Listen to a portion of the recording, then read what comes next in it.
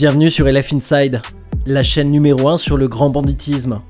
Attention, notre but n'est pas de glorifier la délinquance ou les actes criminels. Pour nous, il s'agit de raconter ces faits et apprendre à mieux connaître un monde envahi par des fantasmes de réussite et d'argent. Bien souvent, les conséquences de ces actes sont la mort, la détention et une vie faite de violence et de cavale pour leurs acteurs. Nos films racontent leur trajectoire. Connaissez-vous l'histoire de Sabri Kemaïsia, un des caïds de la région lyonnaise Sabri Kemaïsia, c'est un réseau international de drogue dure en provenance de la Hollande. Une saisie record, estimée à 5 millions d'euros, dans l'une de ses planques. Une mort violente pendant sa cavale. Retour sur l'histoire de Sabri Kemaïsia, son ascension ultra rapide et sa violente disparition à Marseille en mai 2011.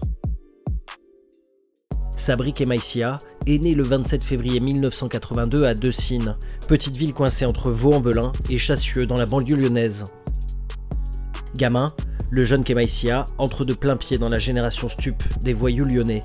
Les Bessam, Mamir ou Bouchareb ont marqué de leur empreinte la nouvelle vague des aspirants caïds. Comme beaucoup d'entre eux, le jeune Kemaïsia fait son apprentissage dans les petits larcins avant d'intégrer les réseaux du stup lyonnais. Revente à la sauvette, gestion de terrain, puis organisation de sa propre filière, Kemaïsia met le pied à l'étrier dès la fin des années 90. Mais à l'époque, le cannabis fait de plus en plus de place à une autre drogue dans les voitures, la cocaïne. Plus dangereuse face aux juges, mais aussi beaucoup plus rentable, connaît sa grande démocratisation. Elle n'est plus l'apanage des craqueux, mais la drogue des riches et des moins riches des centres-villes. Et Kemaïsia l'a bien compris. Comme Abdelkader Bessam et d'autres lyonnais de l'époque, l'étoile montante de Decines va prendre la route de la Belgique et de la Hollande pour aller chercher la poudre colombienne qui s'y décharge en masse dans les ports d'Anvers et Amsterdam. Très discret, professionnel et organisé, Kemaïsia est reconnu dans le milieu pour son sérieux. Il parvient d'ailleurs à passer l'essentiel de sa carrière sous les radars de la police. Sa première interpellation date de 2009. À 27 ans, il est arrêté pour avoir tiré des coups de feu sur un homme sans l'atteindre, à Dessines. Comme son casier judiciaire est vierge à l'époque, Kemaïsia est relâché sous contrôle judiciaire. Malgré cela, le jeune homme reprend aussitôt ses affaires. Depuis la Hollande, il redescend par go fast de belles quantités de cocaïne mais aussi d'héroïne et d'ecstasy.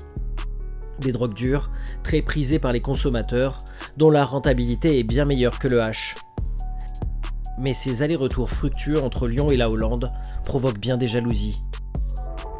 En 2009 toujours, un indicateur livre à la police quelques renseignements sur l'importance grandissante du trafic de Kemaïsia. Les stupes et l'anti-gang découvrent alors l'un des nouveaux gros bonnets de la région lyonnaise. Mais ils apprennent aussi l'emplacement d'une de ces planques.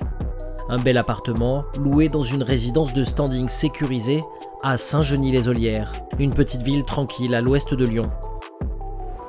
Pendant plusieurs mois, sous la direction de Michel Néré, alors numéro 2 de la PJ de Lyon, les enquêteurs travaillent le réseau et surveillent les allers-retours.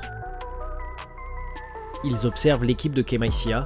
Ce dernier ne perd pas de temps et effectue 4 trajets sous l'œil des policiers. Fin février, l'enquête est bouclée, le piège se met en place. Les flics de Lyon ont vent d'un dernier aller-retour.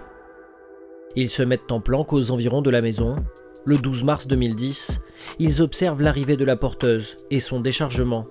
À la fin de l'opération, les policiers sortent de leur cachette et tombent sur l'équipe de Kemaïsia. C'est le jackpot. Les policiers saisissent 112 kg d'héroïne et 54 kg de cocaïne pour un montant estimé à 5 millions d'euros. C'est un record de saisie au niveau national. Lors du procès, les gains du trafic sont estimés à 25 millions d'euros. Sur les lieux, les policiers font d'autres découvertes intéressantes. Des bijoux, de l'or et 10 000 euros en petites coupures. Une prise secondaire qu'ils relient à une série de braquages qui vient d'avoir lieu dans la région. Pas trop le genre de Kemaïsia, mais en échange de bons procédés entre dealers et braqueurs.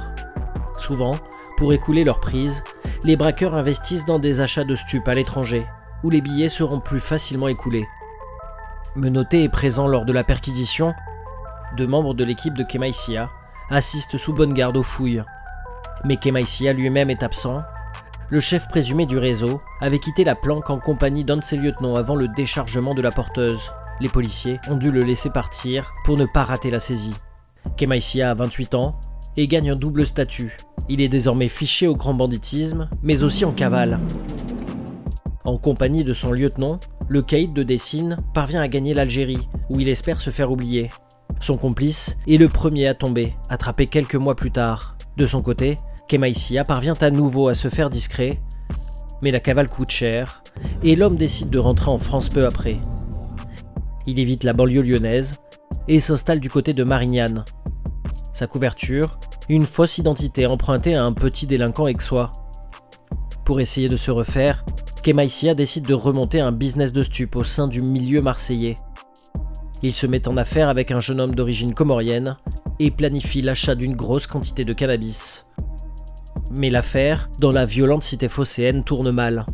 Aux abois, Kemaïsia veut conclure rapidement son affaire de plusieurs centaines de kilos.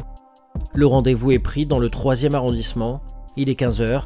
Kemaïsia et son complice se rendent en voiture sur les lieux. Le caïd de Dessine est au volant et gare la voiture. Au moins deux hommes surgissent alors munis de Kalachnikov et ouvrent le feu sur la voiture. Ils ne laissent aucune chance aux passagers. Kemaïsia décède sur le coup. Les décharges de Kalash ont déchiqueté leurs victimes. Seul le relevé d'empreinte révèle l'identité de Sabri Kemaïsia. Il s'agit sûrement d'une carotte, une opération courante dans la cité phocéenne. C'est la fin brutale et tragique du caïd de Decine.